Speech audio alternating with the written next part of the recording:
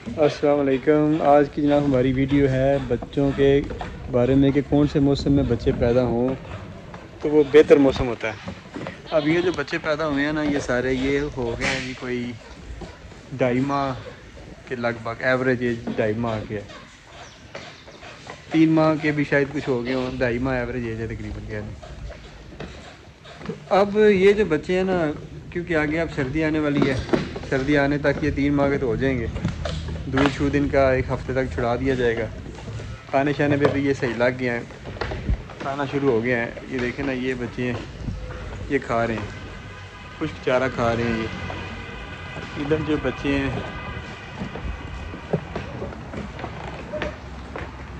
ये भी आप देखें ना। ये खाना शुरू हो गए हैं ना। अब इसमें खुश्क चारा है। एक लूसन का चारा वो सही खा रहे हैं। वंडा भी खाते हैं। और दो टाइम हम इन्हें दूध पिला देते हैं। अब इनका एक टाइम हो गया होगा, शायद उम्मीद है। एक इन्हीं दिनों में, आज हो सकता है एक टाइम हो गया हो। तो बस एक हफ़्ते बाद ये, इनका एक टाइम भी ख़त्म कर देना। तो ये वीडियो बनाने का मकसद ये है कि जो बच्चे, दो क्रॉसिंग सीज़न होते हैं। एक अप्रैल यकम अप्रैल को क्रॉसिंग सीज़न शुरू होता है, पूरा माह चलता है। और एक होता है अक्टूबर को। यकम अक्टूबर से शुरू होता है, पूरा माह चलता है। तो सबसे अच्छा जो किरण का क्रॉसिंग सीज़न है ना, वो है अक्टूबर। मतलब कि जो पिछला माह था अक्टूबर का तो उस माह में जो जानवर क्रॉस होते हैं ना, वो बच्चे देते हैं आगे तीसरे माह में। अप्रैल में, मार्च में। तो मार्च में जो बच्चे पैदा होते हैं ना, वो जब बड़े होते हैं ना तो मौसम गर्म होना शुरू हो जाता है। तो गर्मी बकरियों को, उनके बच्चों को इतना परेशान नहीं करती जितनी कि सर्दी परेशान करती है।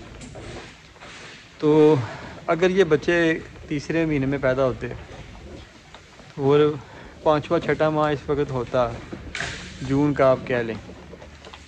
तो गर्मी काफ़ी ज़्यादा होनी थी तो रात को भी ये सारे शेड के पर्दे खुले होने थे। तो इनको मसला नहीं होना था, क्योंकि ये बकरियाँ बुनियादी तौर पे है ही गर्म तो इलाकों में रहने वाला जानवर है। उस वक्त बच्चों की ग्रोथ अच्छी आती है।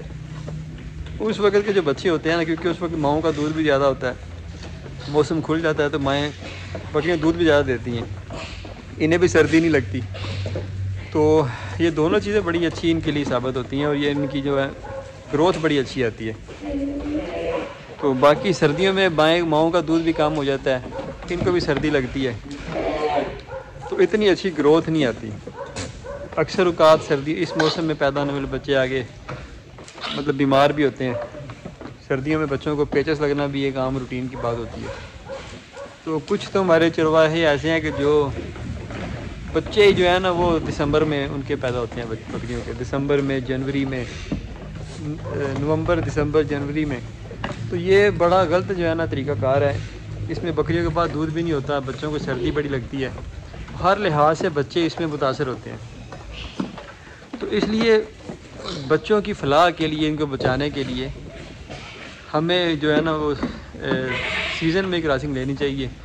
अक्टूबर जगह अक्टूबर को क्रॉसिंग शुरू करवा दें और मतलब जो आखिरी तारीख है अक्टूबर का, पूरा माह वहाँ तक क्रॉसिंग चलने दें।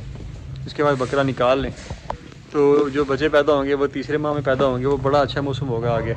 मौसम खुल जाएगा, बच्चों को ठंड नहीं लगेगी, माओ के पास दूध ज़्यादा होगा, सारे मामला ठीक रहेंगे। अगर आप साल में या आपकी रूटीन इस तरह किया कि दो बार बच्चे ले रहे हैं, कुछ बकरियों से अक्टूबर में ले रहे हैं, और कुछ को क्रॉसिंग में आप अप्रैल में डाल रहे हैं तो अप्रैल में क्रॉसिंग में डालें। तो अभी सर्दी शुरू होने लगी है अब हो गया क्या नहीं बच्चे ढाई माह के हो गए तो ये भी फिर सर्दी शुरू होते होते इस काबिल हो जाते हैं कि अपने को संभाल लेते हैं, लेकिन फिर भी वो ग्रोथ नहीं आती या वो मतलब ये सहूलत नहीं होती जो कि मार्च में जो बच्चे पैदा होते हैं, उनको जो चीज़ें मिलती हैं ना, वो इन्हें नहीं मिलती। ये फिर भी उस लिहाज से थोड़ा सा डिस्टर्ब रहते हैं, क्योंकि बच्चे होते हैं, सर्दी आगे आ जाती है, जब ये तीन माह के होते हैं, सर्दी आ जाती है। तो बकरियों के पास दूध ख़त्म हो जाता है या कम हो जाता है तो इतना ज़्यादा दूध भी नहीं इन्हें मिल पाता, सर्दी लगती है तो ये फिर डिस्टर्ब रहते हैं। तो फार्मर भी परेशान रहता है, बच्चे भी डिस्टर्ब रहते हैं ग्रोथ भी अच्छी नहीं आती। तो अगर तो आप सीज़न में, साल में एक ही बार क्रॉसिंग ले रहे हैं तो फिर आप अक्टूबर में क्रॉसिंग में डालें और मार्च में बच्चे आ जाएँगे। तो वो सबसे बेहतर है। उस तरह इन्हें सर्दी नहीं लगेगी, दूध अच्छा मिलेगा और सारे मामला इनके ठीक रह जाएँगे। अभी ये हम इनकी बहुत ज़्यादा हिफाजत करते हैं, अपनी तरफ़ से जितनी हो सके करते हैं। फिर भी किसी बच्चे को कभी पेचस लग जाता है, कभी किसी का टेम्परेचर डाउन हो जाता है। आज सुबह एक का आप था, एक सौ छः था। एक कल बीमार था, वो आज रिकवर हुआ है तो आज एक बीमार हो गया है। आज रिकवर वो भी लग रहा है। लेकिन ये है कि ये छोटे हैं ना तो ये हर रोज़ का मसला। एक बच्चे को, दो बच्चे को, कोई ना कोई इलाज आपको करना पड़ता है।